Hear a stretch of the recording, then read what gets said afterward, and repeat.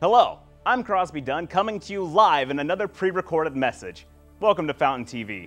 We have a special campus crime edition for you this week, or as we like to call it, the Get Drunk, Smoke Weed, and Shoot Guns edition.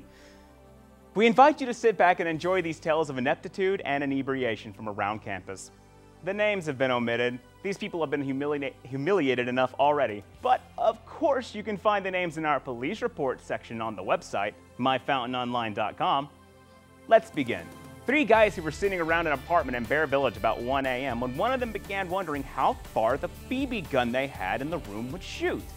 Well, instead of calculating the distance safely on paper, he decided to test it in a more practical matter of, of firing it outside. As fate would have it, a man called campus police to report that he had been shot with a BB gun. Officers pieced it all together and took away their little toy. They could be in more trouble though. A BB gun is considered a weapon on campus. Detectives are investigating. Then we had the 18 year old student who was so mad at another student that she decided to solve the problem herself by getting her uncle to solve it for her. The girl told the object of her scorn that her uncle was coming to campus and would beat his ass. The guy reported the threat and told police that his girlfriend's cousin bumped into the girl at a party days earlier, and the girl had been insulting and threatening him since. The guy said he wasn't afraid of the girl's uncle, he just wanted her to leave him alone. There wasn't much the officer could do, but we haven't seen any police reports of the student getting beat up yet. We'll keep looking for you. Imagine this one along with me. You and a friend are walking along the sidewalk on the west side of Hughes Hall at about 10:30 p.m.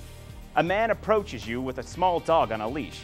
Without warning, the dog rushes forward and bites you on the back of the leg, leaving a two inch bloody gash.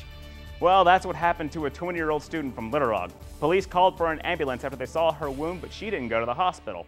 Police confirmed that the dog had all its shots, but it still has to be quarantined for 10 days. Now for the Puff Puff Pass report. We had the 18 year old student who was busted for doing a wake and bake walking across campus. Officers found a glass pipe and a grinder in his pocket. They searched his room in Arkansas Hall but only found empty beer cans. He got J-board citations for alcohol and drug violations and for smoking on campus. Five guys smoking weed in a Bear Village apartment were busted after officers smelled it outside the apartment and decided to search the place. It was filled with smoke, and all the occupants admitted to smoking pot in the bathroom earlier.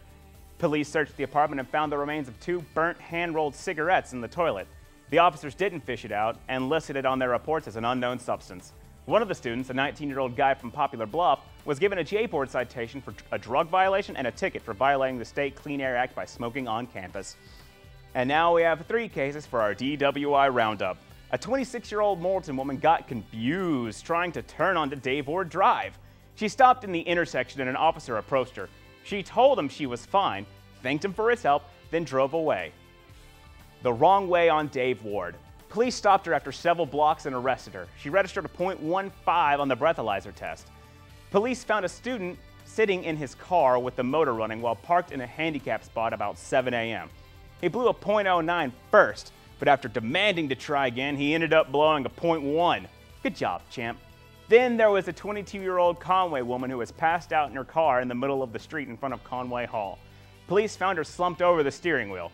They also discovered that she had an active warrant when they took her to jail. That's it for this time. Join us next week for Fountain TV.